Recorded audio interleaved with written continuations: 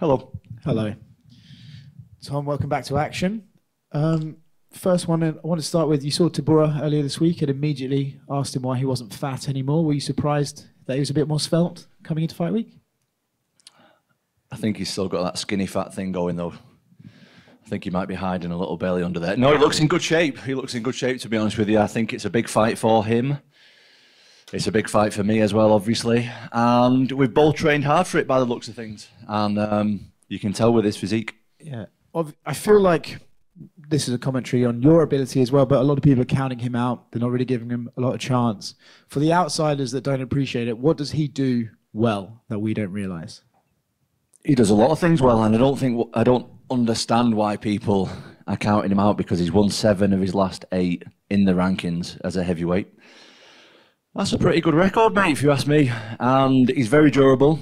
He doesn't quit, which is pretty rare for a heavyweight. Usually, when heavyweights start to get a little bit tired, they start to uh, look for a way out, and he definitely doesn't. He's got loads and loads of experience, and I've took him extremely, extremely seriously.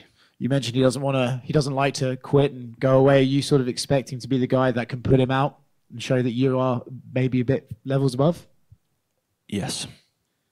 How excited are you for Sunday morning to not be asked about your knee again? Oh, mate, I can't wait to never be asked about my knee again. That's going to be excellent. Um, I'm going to be moving around in there nice on Saturday night and show everyone that we are at full health and everything's recovered, mate. I feel good. I feel great.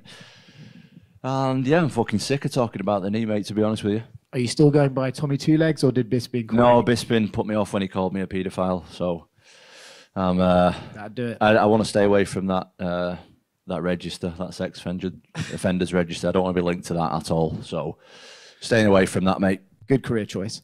Uh, if you could win this fight by gogoplata, running knee, or flying arm triangle, how would you win it? Uh, probably run, running knee. The others, yeah, heavyweights aren't doing the others, so yeah, that that suits me. Your old mate Tyson Fury is fighting Francis Ngannou soon. Um, what are your thoughts on that fight, and how do you see Tyson and Francis matching up? I think Ngannou's got a puncher's chance, but it's a very, very, very, very, very small puncher's chance, very slim chance as someone who has sparred Tyson a lot and seen Tyson up close sparring a lot and seen him fight up close, I think that someone with the inexperience of someone like Francis Ngannou, it's going to be really tough. Obviously, he punches like an absolute truck, and if you put Francis Ngannou in there with anybody and tell him that he's allowed to punch him, he's got a chance against anybody. But Tyson Fury is a master of what he does, and um, it's going to be a tough night for Ngannou, I think. Have you spoken to Tyson about the fight? Yeah, I spoke to him. He called me the other day. He asked if I'll help him with training and stuff. So we'll see how it goes, mate. We'll see how it all goes. You know, I've got a busy schedule myself, so uh, we'll be in touch again after my fight's over with. Last one from me. You know, last time you did this and the knee and everything kind of blew up. How excited are you to go out there on Saturday and hear no, no, no, no, no, no, no, no again? I'm excited for that. I can't wait for that. Um, I just want to fight again, mate. I'm really happy actually this time. I'm just, I've missed it more than I realised until I actually got to fight week. Like, I'm really, really happy to be here, really grateful to be here, and I'm looking forward to it, mate. Can't wait. Tom, over to your left. No one wants to be on an injury layoff, but were there benefits to being off for that length of time in terms of progressing your game, finally sort of tuning your skills for this upcoming fight? I mean, it gives me a lot of time to get everything right in my life. Before, I don't know, I think I'm kind of a superstitious guy, and if, if everything's going well, I don't really want to change stuff, even if I know it's wrong. If that makes any kind of sense, like well, that made sense to me before. But um, I feel like I've really changed a lot inside and outside of the gym, inside and outside of fighting, and I think that this time has given me loads of chance to work with loads of good heavyweights in training. Make sure that my body's looked after and good. Make sure that I'm well rested and that I'm in a good place mentally. And mate, I can sit up here all day and talk about it, how good I am, but ultimately I have to show it on Saturday, and that's what I intend on doing. We had Molly McCann in here earlier, and she was talking about how her career was going at like 100 miles an hour. Then she had a setback, and now she feels a lot a lot calmer, and things seem to be uh, coming at her at a slightly slower speed. She's seeing things a lot better now. Is that is that going to be a similar case with yourself? Do you think? Um, I don't know. It's just it's just a fight, mate. To me, it's I'm going in there fighting with someone, and it's irrelevant as to what pressure's on me and all that kind of stuff. I'm just going in there to to do a sport, and I just look forward to that. Looking to make a big statement, get a big win this weekend. Heavyweight division is absolutely wide open. There's a, a, a clutch of contenders who are all about to be in, in big matchups coming up. Obviously, there's yourself. Who else in that heavyweight division would you say are the most the most dangerous contenders who you might have to face before you? There's absolutely loads, mate. There's loads. Um, I don't really want to miss anyone off, but the ones who stand out are like obviously this Pavlovich, who's ranked number one at the moment. He's like on paper the number one contender. Um, you got loads of dangerous guys, mate. I, like obviously there's Sorogan, Spivac fighting. There's um, Tuivasa's fighting uh, Volkov. Like these are all fight. Obviously there's Almeida and Blaydes. fight. Like these guys are good, mate. This, it's not like it's not like ten years ago when they're all old fat heavyweights who were just standing there punching each other. These are like guys who are not even in the prime yet. So I think we got an exciting ten years ahead of us um, in the heavyweight division. It's going to be a great time. And how far off from a title fight do you think a big win, a big stoppage win this weekend will, will put you? Well, heavyweight heavyweight MMA kind of has its own rules, in my opinion.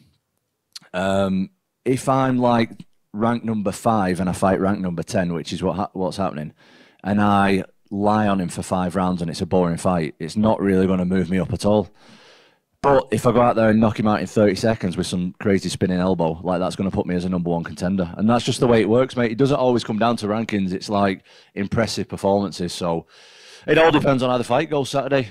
What what kind of finish am I going to get? What kind of win am I going to get? How the fight's going to go? Um, I I don't know. We'll just see. Last one from me. Um, when you've spoken to us in the past and you've talked about wanting to fight Jon Jones one day, but back then you said you weren't ready. Do you think you're ready now? Yes. Perfect. Thank you. Just to go off the back of that, um, Jon Jones is going to be fighting Stipe Miocic. Uh, what do you think about that matchup? How do you think it goes down? I think it's interesting. I think uh, it's difficult to pick a winner really because Stipe now is getting a little bit long in the tooth. I would say he's got a lot of miles on the clock, and he hasn't fought for like two or three years now, and that's going to be difficult. Oscar, can you move your head, please? I can't see the lady behind you. Thank you. Um, he's just getting his head in the way. He's very rude. Um, and yeah, I think it, I think it's difficult to know where Stipe is at at this point. Whereas Jon Jones, we know exactly where he's at. He's just had a great performance. So it's heavyweight MMA. You can never say exactly what's going to happen at obviously the, the highest level. But I would say that Jon Jones has the edge, definitely. And do you see Jon Jones sticking around for much longer after that fight? I hope so. Like, that's my dream fight. My goal in the future moving forward is not only to win, but like, I want to excite Jon Jones. Like, I want him to look at me and think, I, I keep saying it in interviews and stuff, but at this point, he probably doesn't know who I am. He probably doesn't. And I'm like, that's fine. But I want him to watch me fight in the next few fights and think, I need to stick around for this guy. Like, this guy deserves. I need to test. I want him to look at me and think, I need to test myself against this guy and, and be excited about uh, guys like me coming through and, and want to take that challenge. How do you see yourself matching up with Jon Jones? Uh, pretty good. Pretty good. Uh, Tom, um, when you're uh, doing a job that you love to do, obviously it's, it's an amazing thing, it's an amazing feeling. But when that opportunity is then taken away from you, whether it be through injury or other things, it can be a really difficult thing for your mental health. How did you find this last year in terms of mentally not being able to do that job that you love to do? I found it pretty difficult, mate, to be honest. Um, after a couple of months, I was all right, maybe less. It, the, the toughest bit was not being able to walk for me.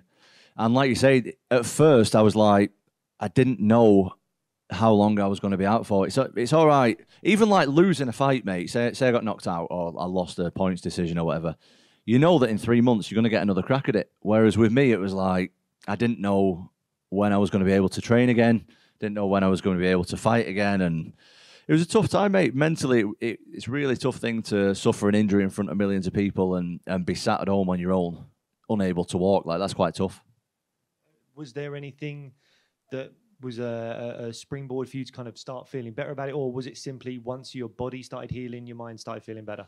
Once I was able to do the start the rehab process and stuff, I was all right because I just treat I literally treated it like a training camp. The getting back to getting my knee right and my physio, he'd always give me like two week goals. So it'd always be like, right, in two weeks you're gonna you need to be doing this. So it always like give me something to look forward to and stuff. So um I really had great people around me to help me get back to where I am and I really kept everything good in terms of uh, what I was putting in my body, the rest I was taking. Like I didn't, I think you can tell from my physique now that I didn't just get fat over the time that I was away. Like I took everything really serious, mate. I took the, I probably took honestly the rehab process more serious than I've taken any training camp, and I'm not even joking. Like I put all good stuff in my body, took the right rest, hypnotherapy, like I did everything to get back better than when I left. Thanks very much, mate. Thanks, Best mate. of luck. Tom, just down here, sorry. Um, I know you said that you don't want to speak about the, the knee injury too much and you're kind of sick of speaking about it. Um, but you're already known as being one of the most athletic fighters across any weight class. Do you think that there's going to be a bit of surprise from the people to see how how different you look post surgery?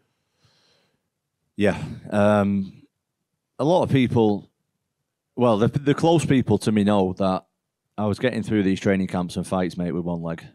And that's not over exaggerating. So I think me with two legs is definitely has a lot more to offer than me with one leg. So I, I think it will surprise a few people the way I move around the octagon on Saturday. Does that obviously include your kicking game? I'm guessing um, that's something that's evolved over the. Yeah, not just kicking though. There's all kinds of stuff that there's certain movements I couldn't do. I couldn't grapple for too long. Like I was barely grappling at all before. Like I would be on my leg for, I would be on my knees for half an hour. I'd have to stop training because my knee would be swollen. So uh, that's gone, and I've done some great, great training with great heavyweights for the full camp. It's not been like we've had the odd heavyweight every single day, mate. I've got heavyweights to train with, which is pretty rare thing. So I'm really happy about that, and how my body feels responding to that as well. And I know you mentioned it there about the the physio and how seriously you took that. Um, you mentioned that during that time you were you were asked to you were asking your physio to set you goals for you to to hit. How important do you think that was f- to do that during the the recovery? I well, me personally, I need a goal. Otherwise, I'm just like treading water. It's just boring, and that's when I do start getting a bit down in the dumps. And that when when I'm just stuck doing nothing with it, like aimlessly going through life, I don't really like that stuff. Like I need something to work towards. So it's very important for me. Thank you. Thanks, mate.